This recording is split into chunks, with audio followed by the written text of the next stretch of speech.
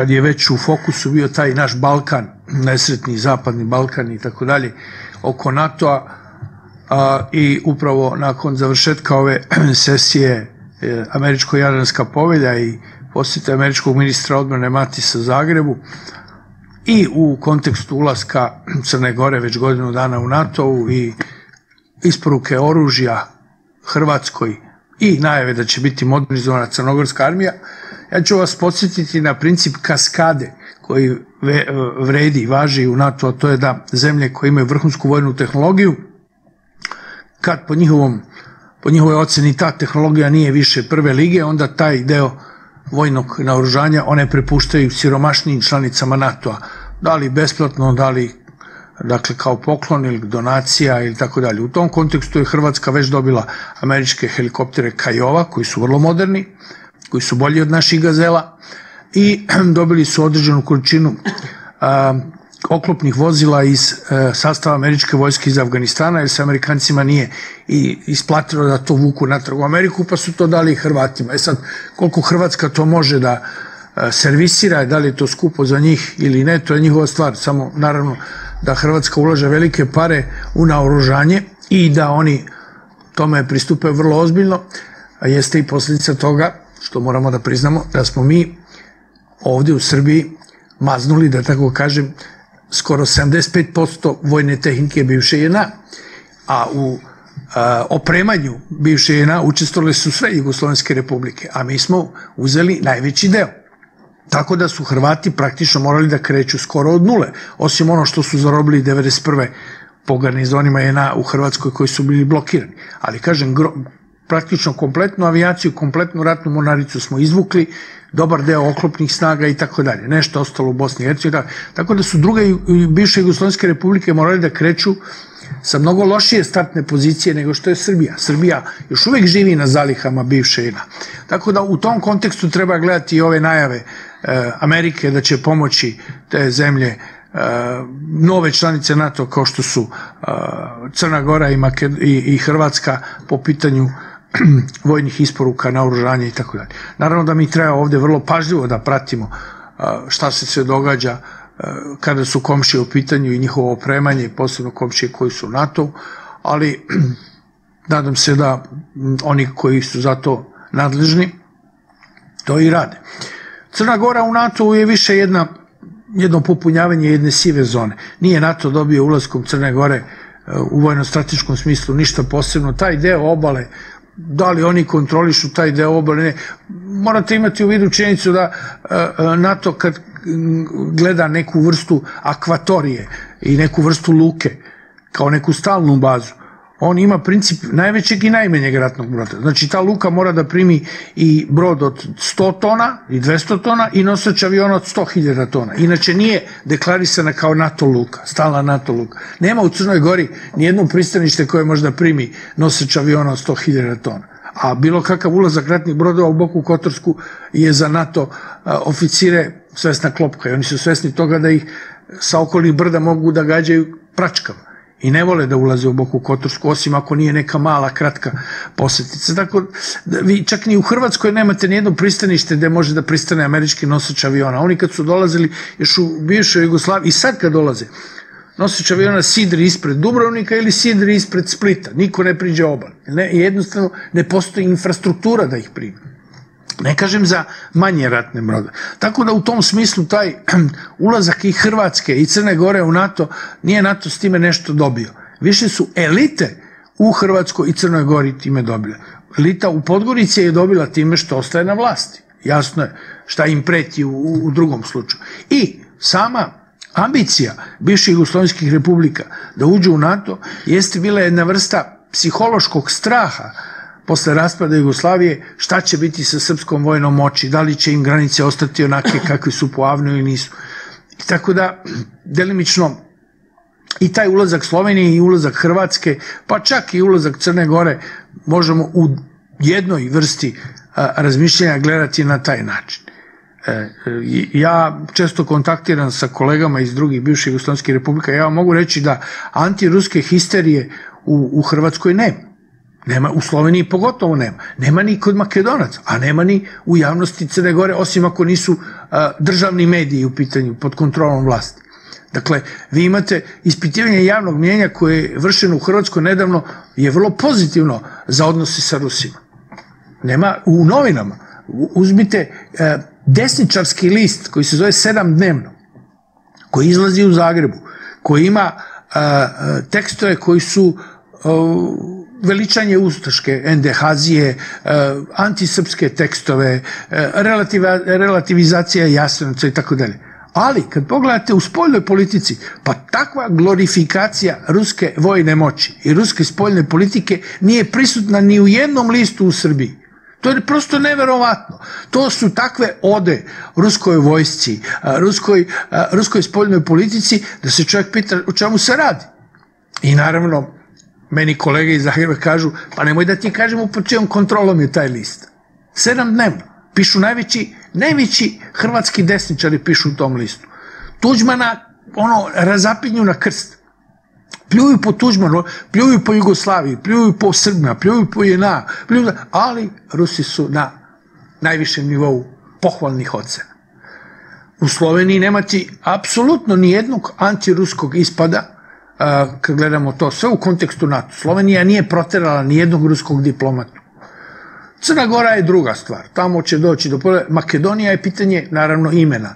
Oni su sami sebe ponizili, što su pristali, vlast je pristala da promeni ime. To da li će NATO dobiti sa poligonom Krivolak nešto posebno, ja sam kao vojnik jednak koji je služio 1977. u Bitolju, je na, bio mesec dana na vežbama na Krivolak, on jeste dobar poligon, najveći u ovom delu Evrope i to je jedini poligon gde se mogu vršiti vežbe sa pravom upotrebom bojnih otrova. Jer nema, hiljad, mislim, hiljade hektara okolo nema nikakvih civilnih kuća, tako da je to moguće. Ali koliko sam vidio do sad ga baš NATO nešto nije koristio. Kad su u pitanju aerodromi, Skopski, on ne može da primi najveće, najveće transportne avione Amerikanaca. Slatina, Priština takođe. Ona je objekat podzemni u Slatini zapečačen. Mogu samo da raste, rastu tartufi unutra. A, NATO-u ne trebaju toliko vojne baze na prostorima naših bivših jugo država. Oni imaju baze u Bugarskoj, imaju baze u Rumuniji, imaju baze, imaju baze sad i u Ukrajini. Oni imaju tu direktan pristup a, a, ruskim granicama. Oni su konačno iz Bugarske i Rumunije vršili transport svojih snaga u Afganistan kad su intervenisali 2001. godine. Imaju Albaniju. Šta će njima skopski aerodrom ako oni imaju aerodrome u Tirani, u Draču? Oni čak i u Bonstilu, gde su imali jedno vreme skoro 6-7 hiljada vojnika, nemaju nikakvu vrstu teške tehnike sada. Nema ni jednog tenka, ni jednog oklopnog transportera, imaju hamere. Helikoptere, imaju samo helikoptere za transport, nema više borbenih helikoptera tipa Apač. Znači, u tom smislu, vojno gledano, balkanske zemlje za NATO ne znače ništa. Apsolutno ništa. Možda neka vrsta simbolike da vod vojnika iz Crne Gore ode u Afganistan, ne znam, e, bataljon vojnika iz Hrvatske ode u Afganistan i tako dalje. Ali vam kažem da raspoloženje javnosti u tim bivšim jugorepublikama, pitanje je kad bi bila prava jedna rasprava oko NATO-a da ili ne. Hrvatska je izbegla referendum po pitanju NATO-a ulaska u NATO. Slovenija ga je imala, ali tek nakon dve godine vrlo ozbiljnih rasprava u javnosti prošlo je tu 51,2%. Crna Gora ga je izbegla. Makedonija ga nije, ali Makedonija je problem što tamo i, i stranke opozicije i stranke na vlasti, svi su za ulazak u NATO. Vi u Makedoniji nemate anti-NATO na, javnom, na javnoj političkoj sceni nijednu antinato stranku, ostaje možda ove stranke, srpske stranke, ovaj, stranka Srba u Makedoniji. Sve druge stranke su za ulazak u NATO. Jedna je stvar, naravno, stranke, a druga je stvar raspoloženje naroda. Ali mi živimo u svetu da je šta ko pita narod u Makedoniji. Da se o tome radi, ne bi menjali ime. Vidjet ćemo što se tiče ulaska Makedonije u NATO, dobro je rečeno da Grčka nije preuzela nikakve obaveze, a Makedonci su preuzeli. Vidjet ćemo da li će to proći na referendumu u Makedoniji i konačno da li će se vlada u Grčkoj koja je to pristupila prestudskom dogovoru održati na vlasti. Da li će doći do pada te vlade. ova manjinska stranka koja je u vladajućoj koaliciji rekla jeste, mi smo podržali prespanski dogovor, ali nećemo podržati to na referendum. Kad bude neko novo glasanje, piti za sad se vlada u Grčkoj drži, mislim, na jednom ili dva glasa u, u grčkom parlamentu. Ako i ta dva poslanika pređu u redove onih koji su protiv sporazuma sa Skopljom, pa da Grčka vlada. Dakle, vidjet ćemo kako će to u Makedoniji. Oni su dobili uslovni poziv za ulazak u NATO i uslovni neki datum za početak e, pristupanja pregovorima sa Evropskom unijom. Dakle, NATO na Balkanu pre svega mislim da želi e, jednostavno da ova zona ne bude siva zona i da tu politički jednostavno budu prisutni, da to stave pod neku vrstu kontrole, pacifikacije i apsolutno da nemaju brige da li im se nešto događa iza leđa njihovih isturenih pozicija, a isturene su pozicije pre svega Rumunija na prvom mestu, pa onda Bugarska. A, Kosovo, naravno, opšte je poznata stvar da NATO trenira kosovske bezbednostne snage. Mi možemo pričati da to nije vojska. To je, to je već kosovska vojska. U stvarnosti to je vojska koja ima celu vojnu hijerarhiju, samo se tako ne zovu. Imaju čak i laka oklopna sredstva, lake oklopne automobile. Mislim da su im to Turci isporučili. Pitanje vremena kad će dobiti neki helikopter i tako dalje. Znači NATO vrši njihovu obuku, NATO im isporučuje naoružanje, pogledajte puške koje imaju naoružanje i to. I jasno je da je samo pitanje, kažem, dana kad će se to i službeno nazvati e, kosovskom vojskom, a mi pri tome ne možemo ništa osim da verbalno protestujemo da uputimo neke note. Da li će se e, e, NATO držati onog principa, kao što sad kažu, to ne može da prođe bez glasova Srba u parlamentu u Prištini, ne može da prođe bez, ne znam, ustavnih promjena i tako dalje. Pa setimo se da je isto to govoreno kad je bilo u pitanju nezavisnost Kosova, kad su isto postavili jedan princip, prvo standardi pa onda status. I šta smo dobili? Dobili su status sa standarde, o standardima danas više niko ne razgovara. Dakle, zapadu vi ne možete da verujete ništa. Čak i kad nešto potpiše, oni su u stanju da to drugačije tumače. A kamoli neka usmena obećanja. Standardi, prvo standardi za sve stanovnike koji nisu albanskog etničkog porekla na Kosovu, a onda ćemo govoriti o statusu. I za dve godine niko više ne spominje ni standard kao što i evo, više ne spominju u toj završnoj deklaraciji za samita NATO, a nema Kosovo da se spominje ni sa zvezdicom, ni sa fusnotom. Dakle, oni to u trku menjaju. Mislim, mi, nažalost, moramo shvatiti da živimo u, u, u svetu gde ne, ne vlada ni međunarodna prava, pravo, ni međunarodna pravda, ni, živimo u svetu jaki. Onaj, koliko ste vojno u pravu, i koliko ste jaki, toliko ste politički u pravu. Princip ravnopravnosti među državama vredi samo među relativno jednako moćni u vojnom i u ekonomskom smislu. Kažem, e, NATO se naravno boji ruskog uticaja na, ovde na Balkanu, jer shvata da su to ipak Slaveni. I Rusija je napravila fantastičan potez sa ovim svetskim futbolskim prvenstvom. Ona je ukinula vize za sve državljane uh, iz uh, zemalja Evropske unije koji bi inače trebali da imaju vize i sad ako ste navijač i imate kartu avionsku za Moskvu ili ne znam za Kazanj ili za Kaliningrad, vama ne treba viza. Tako da su meni rekli ovi novinari iz Hrvatske, svi su putovali, ono, kupaju se pre podne u Splitu, popodne uskočao avion i pravo za Moskvu na utakmicu. Nema nikakve vize, nema nikakvog trga. Dobro, pa to je to. Znači, avionska karta je bila pas. I, i kad čitate neke hrvatske novine, vidjet ćete reći, jedan je napisao u Slobodnoj Dalmaciji, kaže, Moskva je prestonica svih slavenskih naroda. A kaže, i mi kao Hrvati, kaže, i mi smo slavenski narod. I igraju na tu kartu. Drugo je elita, šta elita misli? Ali vam kažem da, da ako imate situaciju da se, i da, i da je Rusko ministarstvo spoljnih poslova, kad e, e, gospođa ili gospođica Zaharov kaže Hrvati su nam se izvinuli zbog izjave ovoga, a, onog ludaka, vide i onog drugog, kako se zove onaj što je član Vukojevića, kaže, izvini, ako, ako čak i predstavnica Ruskog ministarstva spoljnih posla osjeća potrebu da javno kaže da su se dvojica Tupana izvinuli, za svoje izjave, onda znači da tu postoji jedan senzibilitet između slavenski, slavenskih naroda. U ostalom, setite se da je i Ante Pavelić 41. godine rekao bolje je crvena komunistička Hrvatska nego Hrvatska u Jugoslaviji. Tako da taj rencitiman između slavenskih naroda s jedne strane Rusija, a s druge strane i članstva u NATO nije baš tako crno-bela slika. To treba malo gledati u nijansama. Miroslav, izvine, onda bez malo 4000 Hrvata ide na Stalingrad. Jeste, a evo sad ih je došlo 20.000 u Moskvu. Pa sad ih je došlo 20.000, doduše, doduše sa navijačkim kapama, ali, ali sa, sličnim, sa sličnim znakovima. Sa sličnim znakovima. Sad su došli u Moskvu. Šta ćemo sad? Crnim dresovima. Da. Ali igraće e, finale u, u crveno-beli. Da. Šta ćemo sad? Znači, Može li se ovo što, to- što imamo danas e, sa NATO u- na Balkanu, može li se to Miroslav zvati pacifikacijom? Ili je to zapravo u funkciji pokoravanja i svega ostalog kroz šta smo već prošli i što nam je spremljeno da prolazimo dalje?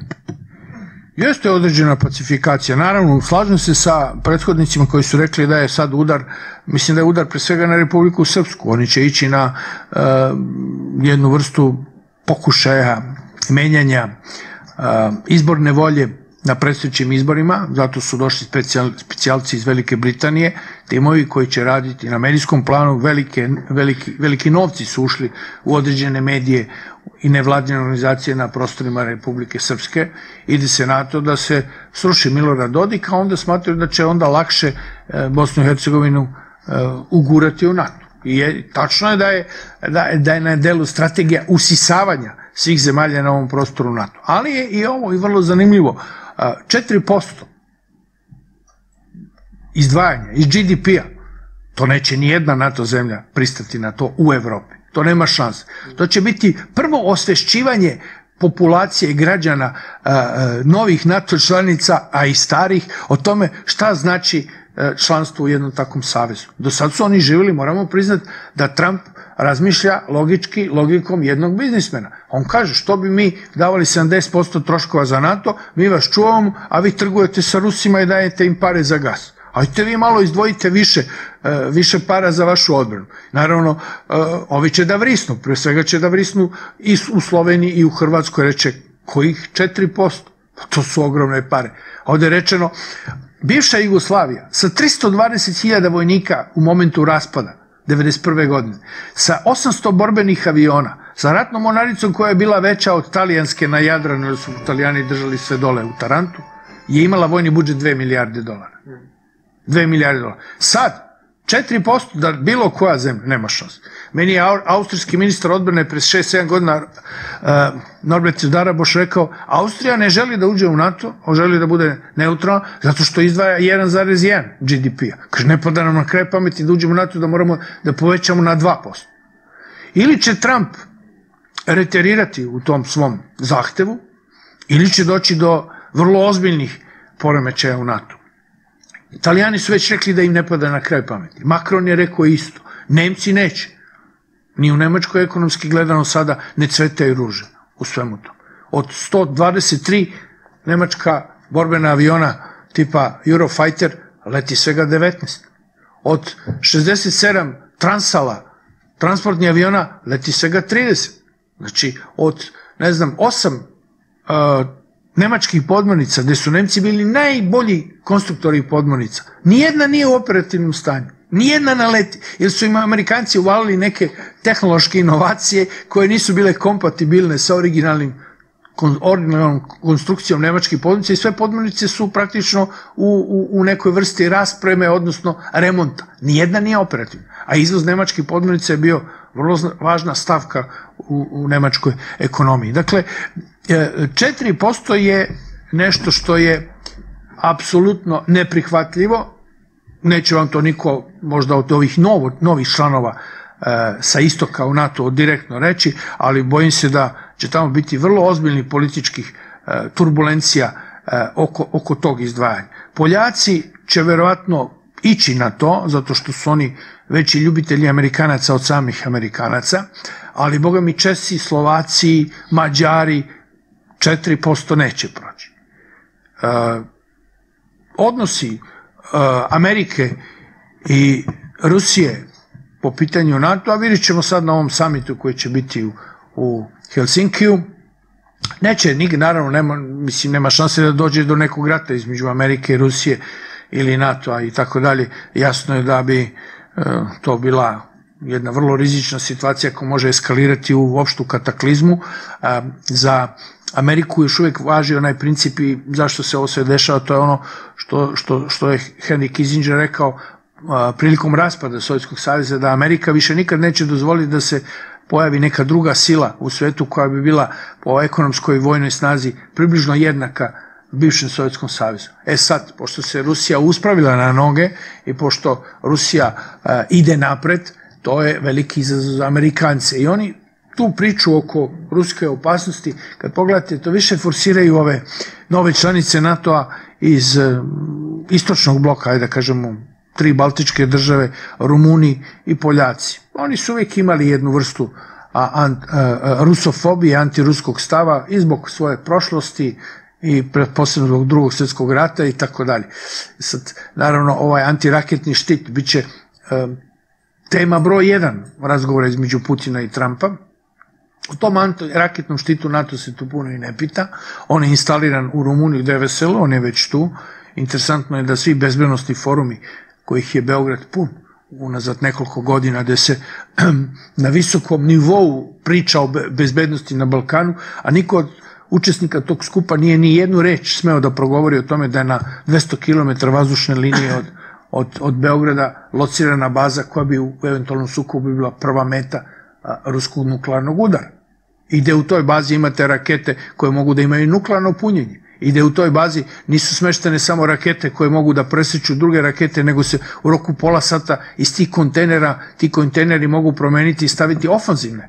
Balističke rakete koje putuju do Moskve za 6 minuta i zbog toga je Deveselo meta broj 1 ruskog, bilo kakvog odgovora, nuklearnog odgovora. Kao i ova baza koja će biti, koja se završava upravo u Poljskoj. To će biti tema broj jedan e, u, u koncepciji, ajde kažemo, i NATO-a, kad je Trump u pitanju razgovora sa, sa Putinom. Šta e, sa tim antiraketnim štitom u Evropi? Amerikanci su izišli iz ugovora o antibalističkoj odbrani iz 1982. Oni su taj ugovor prekršili.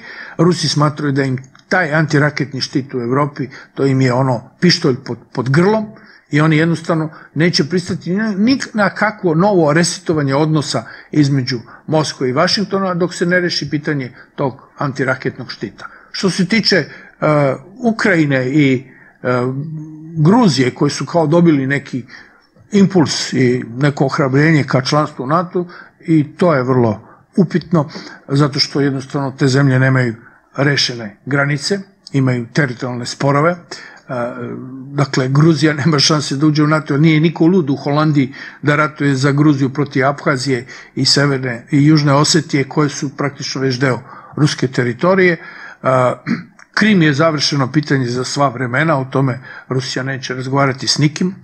Prema tome to što Trump sad izjavljuje da bi da je on bio na vlasti, a ne Obama, da Krim ne bi Rusi uzeli, to su ono kockarske izjave svojstvene njemu, on izjavi danas jedno, sutra drugo, tako da ti njegovi uh, razgovori ne obavezuju puno. Osim toga, meni je vrlo smešno kad američki predsjednik uh, javno izjavi uoči sastanka sa Putinom da su, da su nuklearne tehnologije vrlo razorne. To je fenomenalno. To, je, to još nisam čuo. Znate, da to izjavi mali perica u prvom razredu osnovne škole, pa bi shvatio. Ali da izjavi američki predsjednik koji komanduje najvećom vojnom silom trenutno u svetu, da su nuklearne tehnologije vrlo razorne, stvarno nemam šta da kažem. Kako ozbiljno razgovarati s takim predsjednikom. I nije ni čudo što imate ovo njegovo sastajanje sa Kimom, pa jedno rekao, pa drugi dan drugo, pa treće, pa ko je šta tu potpisao, ko, šta, ko se šta nove. Imaće Amerika još uvijek problema i sa Severnom Korejom, tu nema nikakvog trajnog rešenja, niti ono na pomolu, sa Kinom, zato što svi budući ekonomski izazovi leže na Pacifiku, a shodno tome i svi vojni izazovi, bit će pitanje kineskih prostora na ovim umetnim ostrovima koje oni pretvaraju vojne baze, tu možda dođe do ozbiljnih vojnih incidenata između kineske vojske i Sjedinja američkih država. Evo, pitanje izvoza nafte, ako Amerika kaže da će učiniti sve da Iran ne može da izvozi ni jednu litru nafte, da Iran ne može da izvozi naftu, da će zaustaviti njihov izvoz i prodaju naftu. A Iranci kažu, a mi ćemo onda zatvoriti Hormuz. Gledajući logički, potpuno su u pravu. Mi ne možemo da izvozimo naftu tim putem. Pa nećete ni vi. A Iran ima vrlo uh, jednostavan način da, da zatvori hor, hormuški uh, prolaz. Samo potopi tri velika tankera i niko ne može da prođe. A prolaz je takav, plovni put u Hormuzu je vrlo mali. Ne moraju čak ni da stave ni morske mine, ni ništa. Samo potope tri velika tankera. Ovima treba tri godine da izvuku te tankere. Neće imati naftu iz tog područja onda ni, ni, ni Kinezi, a neće imati ni Europska unija. Ko će da trlja ruku? Venezuela i Rusija. Oni, odmah će cena nafte da skoči gore. Dakle, te izjave Trumpa su uh, često puta više usmerene ka onom konzervativnom delu Amerike koji ga je izabrao i nekoj vrsti junačenja, ali u realnosti pitanje šta i kako. Uh, kada je Balkan, opet da se vrati malo ovo moje lutanje po svetu, a u pitanju naravno mi smo vojno neutralni, nastojimo da igramo tu poziciju i dalje, to da li nas neko opkoljava ili ne opkoljava, slažem se sa ovom konstatacijom, mi smo okruženi, opkoljeni i tako dalje. Ali to se u savremenom ratu preskače. Više o toj opkoljenosti, odnosno okruženosti insistiraju pronatovski lobby u Srbiji, koji celo vreme kažu, a mi svi su oko nas u NATO-u, a mi nismo. Pa zašto nismo? Pa nije ni Austrija u NATO, pa svi su oko nje u NATO. Pa nije ni Švajcarska u NATO, pa svi su oko nje praktično u NATO. Ne mora jedna zemlja da uđe u neki savez samo zato što su svi oko nje u tom savezu. Naša politika je miroljubiva, ne pretimo nikome, najavili smo da ćemo sve probleme rešavati mirno i diplomatski, prema tome nismo, u tom smislu nismo, nismo nikakav provocirajući faktor. Jeste opredeljenje za ulazak u Europsku uniju, koliko je to blisko, koliko je to daleko, šta će biti za Europsku, sa Europskom uniju do 2025. To niko živ ne zna. Tako da je Uh, ima razloga da budno pratimo sve što se oko nas događa, ali ne treba posebno nešto dramatizirati. Meni je najsimpatičnije kad vidim ovoga crnogorskog ministra odbrane gospodina Boškovića i Matisa generala i sad Matis njemu poklanja sliku ovaj, na kojoj je postrojena sva četiri vida oružanih snaga Sjedinja američkih država na ulazu u Pentagon i vidi se crnogorska zastava sa strane i sad to je kao veliki suvenir ovaj, Mislim, šta da vam kažem, to je tuga jedna i smešno, ali, ali to je realnost malih balkanskih država. To su Skorojevići na vojnom planu. I njima takva jedna slikica puno znači u životu. Vjerojatno možda je stavi i iznad kreveta u spavašćoj sobi da je gleda. Kad je ušao u Pentagon. Znate, to je... Šta da kažem? Evo, toliko.